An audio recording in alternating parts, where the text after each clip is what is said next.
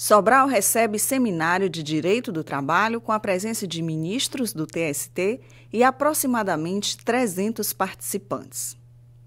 Nos dias 9 e 10 de agosto, a região norte do Ceará foi palco de debate sobre importantes temas do cotidiano jurídico trabalhista. A Escola Judicial do Tribunal Regional do Trabalho da Sétima Região promoveu no Teatro São João, em Sobral, o seminário Direito Material e Processual do Trabalho. O evento foi destinado a membros da magistratura e do Ministério Público do Trabalho, advogados, servidores, sindicalistas e estudantes de direito. O diretor da Escola Judicial, desembargador Paulo Reis Machado Botelho, comemorou a expressiva participação de cerca de 35 magistrados e magistradas, incluindo 10 dos 14 desembargadores do TRT-7. Mencionou ainda a importância de interiorizar a capacitação sobre temas jurídicos atuais. É, Sobral está celebrando 250 anos. Sobral é uma cidade polo da região norte é uma cidade que tem uma importância muito grande no cenário cearense, no cenário nordestino e no cenário brasileiro. Então a escola tem essa missão, compartilhando conhecimentos, levando a escola para o interior do Estado e fazendo com que o tema direito do trabalho, o tema justiça do trabalho, se coloque sempre em evidência no cenário jurídico. A conferência de abertura, realizada pelo ministro do Tribunal Superior do Trabalho, Alberto Bastos Balazeiro, abordou que a inteligência artificial pode ser utilizada em favor dos direitos trabalhistas sociais. O grande desafio é fazer essa interação entre tecnologia e direitos sociais, direitos fundamentais, sem perder a principologia protetiva, a principologia que assegura os direitos sociais como algo fundamental e como algo que deve ser acrescido ou seja, o que aumenta a proteção, que aumenta a preservação de direitos sociais. É preciso compreender que tecnologia não é antagônica a direitos sociais, muito pelo contrário, muito menos a inteligência artificial, a forma mais corrente que tem que ser referido. São elementos que a gente tem que utilizar para combater sexismo, capacitismo e toda forma de discriminação. Autor de diversos livros sobre direito do trabalho, o professor Carlos Henrique Bezerra Leite tratou sobre o acesso à justiça do trabalho como direito fundamental. No tocante ao período da pandemia, houve no primeiro momento uma dificuldade natural pelas necessidades de, de audiências virtuais, enfim, houve algumas, é, algumas dúvidas né, a respeito da, do devido processo legal, do direito de ampla defesa, enfim. Mas depois a Justiça do Trabalho, ela é muito capilarizada, muito avançada, ela conseguiu suplantar esses desafios e agora, no período pós-pandemia, está retornando naturalmente né, as audiências virtuais, enfim. Para o presidente da UAB Ceará, subseção Sobral, Ézio Guimarães Azevedo, o seminário trouxe bons impactos para a região norte. Realmente causa um impacto positivo, não só para os advogados e advogadas, mas inclusive para toda a sociedade. Então esse seminário é muito salutar, não só para Sobral, mas também para toda a advocacia de, da Zona Norte do Estado de Ceará aspectos do acordo judicial trabalhista e qual a importância das partes atuarem na construção da conciliação foi o tema da exposição da magistrada trabalhista Daniela Pinheiro.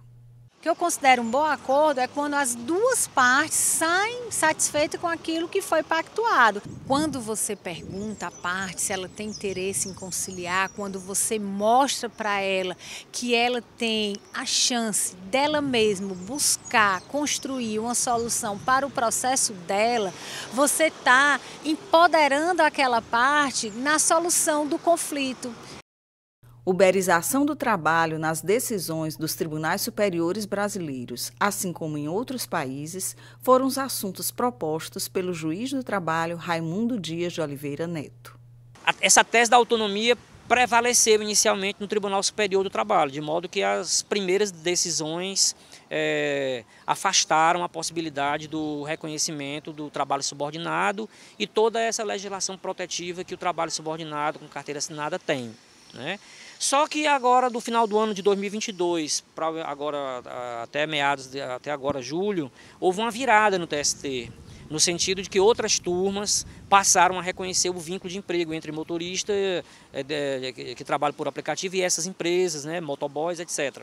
esse tipo de, de trabalho nas cortes europeias tem despertado uma preocupação enorme. Em vários países da Europa, inclusive a, a corte, a, o Tribunal Europeu, tem decidido que essas empresas são empresas de transporte que deve haver uma proteção, um olhar protetivo para esse tipo de trabalho.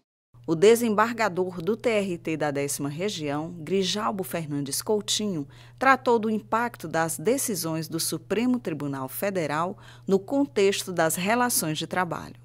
As relações de trabalho estão mudando no Brasil a partir de dois eixos. Primeiro, o Supremo Tribunal Federal, que reduz direitos sistematicamente à maioria. Segundo, essas decisões têm influenciado o Congresso Nacional a fazer reformas reformas trabalhistas que caminham no mesmo sentido. Então, nós estamos num momento de muita preocupação para o campo das relações de trabalho. O procurador do município de Fortaleza, Martônio Montalverne Barreto Lima, proferiu a conferência de encerramento. O professor mencionou como a democracia brasileira tem respondido sobre os ataques ocorridos na data de 8 de janeiro. O 8 de janeiro, protagonizado por essas forças políticas golpistas, ele significou uma tentativa frustrada e que, para nossa satisfação, a democracia brasileira vai dando a devida resposta. Essas pessoas serão processadas e julgadas, terão direito à ampla defesa e ao devido processo legal, ou seja, exatamente aquilo que esses grupos que protagonizaram o 8 de janeiro queriam destruir é o que lhes servirá de garantia para a devida punição que eu espero que seja estabelecida. O presidente do TRT do Ceará, Durval César de Vasconcelos Maia, avaliou o evento como exitoso, tanto pelos conteúdos expostos como pela logística bem-sucedida. O evento aqui em Sobral, na minha visão, foi coroado de êxito, né? Tanto pelo público que aqui compareceu, o público, inclusive, teve que ser adequado né, às instalações aqui do teatro, o belo Teatro São João. E agora é, é só mesmo, vamos dizer assim, comemorar, né? comemorar o evento, comemorar o sucesso do evento e agradecer a todos aqueles que trabalharam para a realização desse evento.